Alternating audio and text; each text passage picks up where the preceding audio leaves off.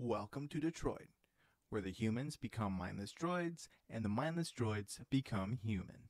See what I did there? Yeah, I'm kind of a comedic genius, I guess you could say, if you really wanted to stretch out the definition of comedic. What is up, everybody? How y'all doing today? Just be Frankie here with a brand new video for you guys. So, if you don't know, Detroit Become Human is a game where your choices have consequences towards the end game of the story. It is very well possible to get all your characters to make it to the end of the story and have a happy ending. Not that kind of happy ending. And if you don't know what I'm talking about, don't look it up. I'm serious. I just said don't look it up. What are you doing? Put no, no. Come back to the video. Come back to the video. No, stop. We're watching. We're watching Detroit become human. Okay, just making sure. Just making sure. But yeah, all your characters can live to the very end, or they could expire before the story even gets to start. When I first got this game, I actually managed to do the perfect ending. I played it extremely safe and was able to get the perfect ending for all of my characters. It was a lot of work and it took a long time, but that's not what we're doing today. Oh, no, no, no, no, no. We're not doing that. No, today we're choosing violence. I don't want peace. I want problems always. That's right. Today we play Detroit Become Human as an absolute menace to society. Let's go. This is Connor, an android sent in by CyberLife to a hostage situation to save some spoiled brat named Emma. She was currently being held by their family android who had recently become defective. The reasons why aren't important. What's important is that I make sure not to save this fish that fell out of its tank. This is hands down the most evil and menacing thing I could ever do, and I was ready to end the video here. Unfortunately, the YouTube algorithm doesn't like it when you make a 4 minute video after you've uploaded an hour long Substitute Scary Sunday, so the video must go on. And luckily for me, the sight of this mother crying for someone to save her daughter from an android only for her to come to the horrifying realization that they've sent an android to help her really put me, and Connor for that matter, in a much better mood. Just look at him trying hard not to laugh at the irony of it all. As a detective android, you're meant to investigate the scenario to better your chances of success. However, this is my absolute menace playthrough, so instead I grabbed an officer's pistol and headed out guns blazing. This is how it went. Hey, I didn't think I'd have to pull out the Riz this early in the video, but here we go. My name is Connor. What about you? What is your name? Daniel, that's the name they gave me. Stay back. Hey. He's saying stay back. He got a gun. I'm kind of scared for my life right now. I'm not moving nowhere. First, I wasn't actually scared because I'm an android. Also because this is a video game, but mostly because I'm an android. But I'll be damned if I was gonna let that spoiled brat Emma get me killed on my first day of the job. I respectfully, my distance, I was not gonna bother this man. He had a mission. He was determined. Man's really talking to him from across the courtyard. My man's really said, Let her go, please. Please. Fortunately for me though, I am an android that is a master negotiator. Are you armed? No. nah. I don't have a gun. You're lying. I guess you're gonna have to die, y'all. I can't stand that noise anymore. Tell that helicopter to get out of here. No, no thank you. No thank you. I don't think they'd listen to me. So all I had to do was point out to the android, hey, you're being really stupid. And that was a surefire tactic to make sure that he let go the little girl and everybody got away safe. This is a well known tactic called reverse psychology and is a level 1000 brain move. This tactic worked perfectly, but surprisingly and seemingly out of nowhere for no reason, the android still decided to take his own batteries out prematurely, and just like P. Diddy, he was taking the child with him. I honestly probably could have saved the little girl too if I didn't have my slow motion running on.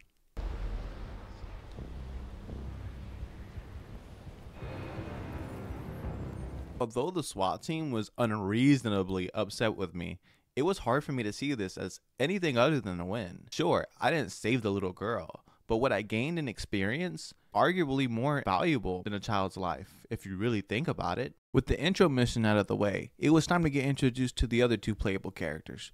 Kara is a housekeeping android that just got repaired and reset after her owner, Toby, decided to play with her like I used to play with my sister's Barbies. By ripping them limb from limb and then hiding the body parts around the house. And no, I had a perfectly normal childhood. Why do you ask? Our third protagonist is Marcus. He is a caregiver android for a famous painter, more wrinkly Professor Xavier. Their intro missions aren't really anything special and are actually kind of boring.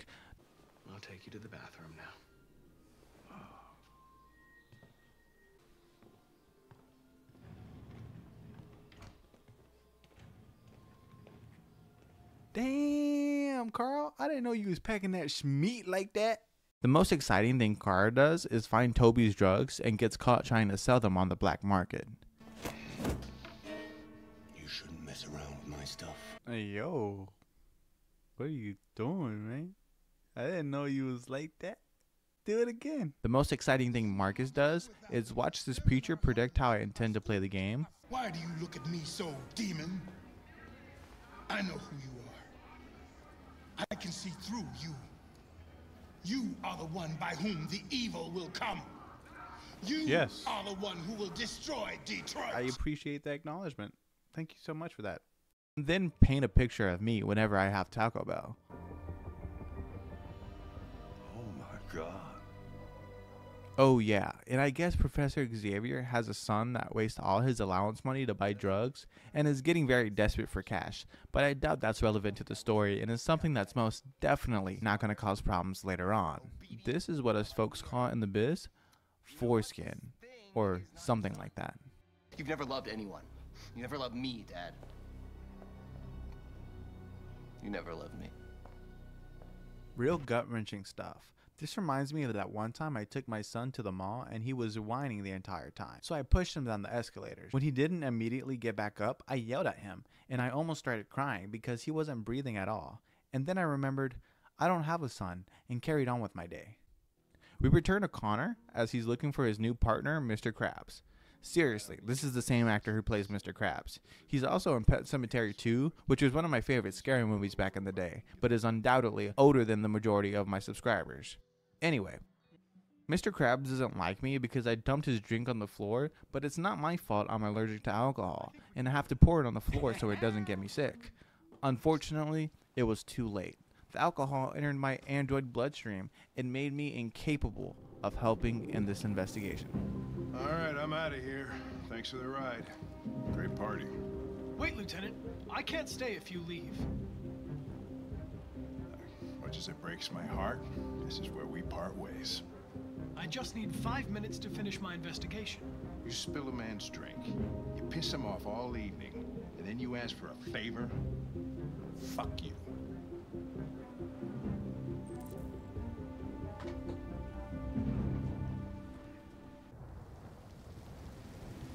So now we return to Kara, and now it's starting to get pretty good. So for the next few missions, I'm just going to let the missions play out with minimal interference, just so you could experience the whole thing for yourself.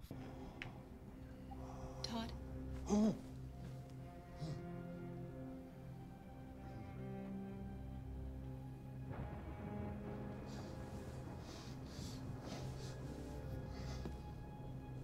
Dinner is ready.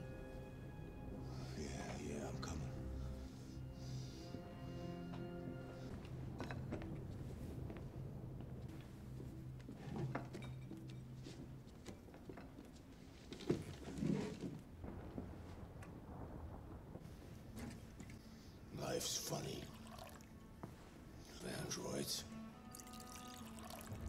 And when I need somebody to. They never Is you gonna eat your food or not? Never tired. Never sad. They're so fucking perfect, they ruined my fucking life. What are you looking at? What's your fucking problem? Not the life you dreamed of, eh? Maybe you think this is easy. Maybe you think it's my fault we live in this fucking shithole.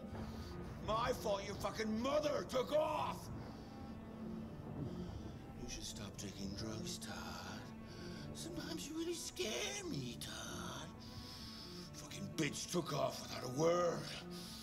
Fucking whore walked out on me for a fucking accountant. Fucking fall! Hey yo, she on that Michael Jackson diet.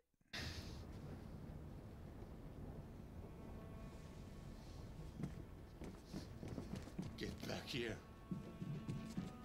Come back here. Come back here right now! Yes! You stay there. Don't you dare fucking move, or I'll bust you worse than last time. I never was too good at following orders. Her alone, Todd. She. You stay out of this, or you'll be next. Stop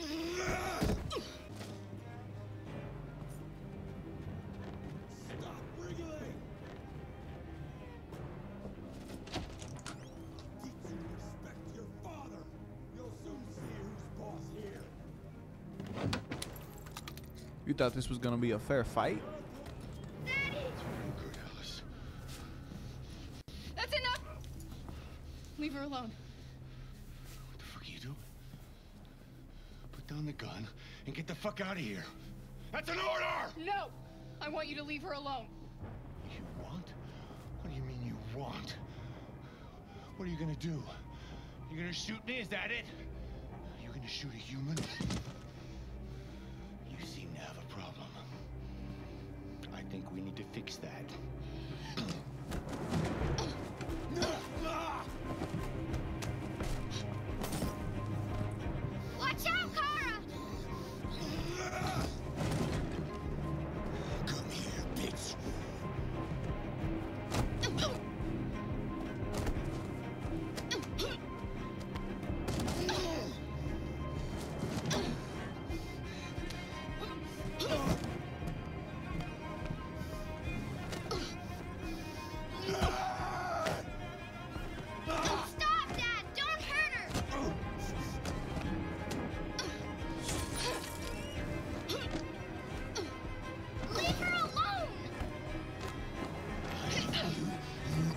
I say!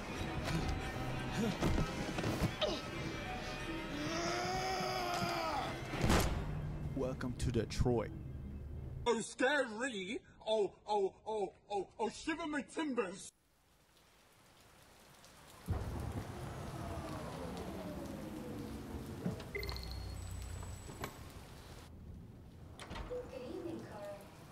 That was by far the most boring party I've been to in the last 25 years.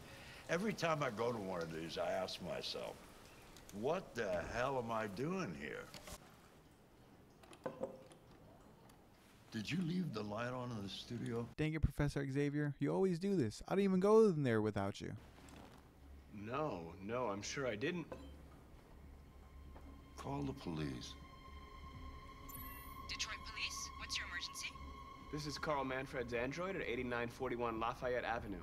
We've just returned home and found the lights on. There may have been a break-in. A patrol car is on the way.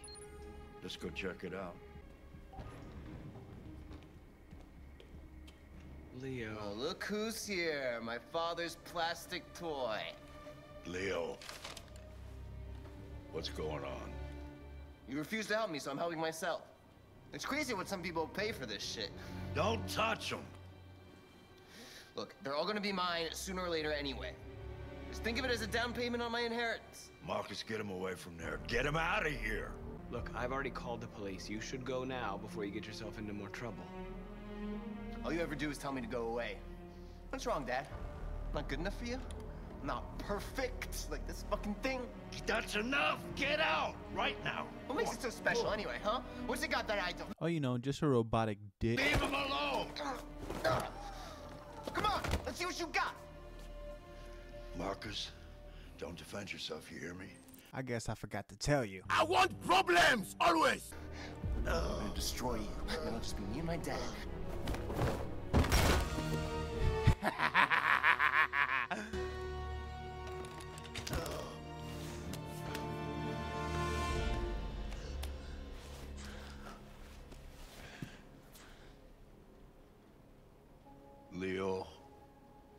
Oh my god. You don't sound very sad, Professor Xavier. Leo. My little boy. Carl, I... They'll destroy you, Marcus. You gotta go. Get out! Now! Go! Marcus! Don't fucking move!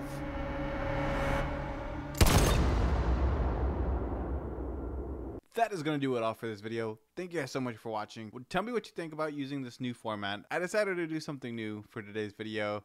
I felt like playing some video games, but I also felt like making a video, so I figured might as well do the same thing at the same time. Should I do more of these? Do you want to see a part two to me being an absolute menace in Detroit Become Human? Because it gets more crazier. Let me know in the comments down below, and I'll see you guys in the next one.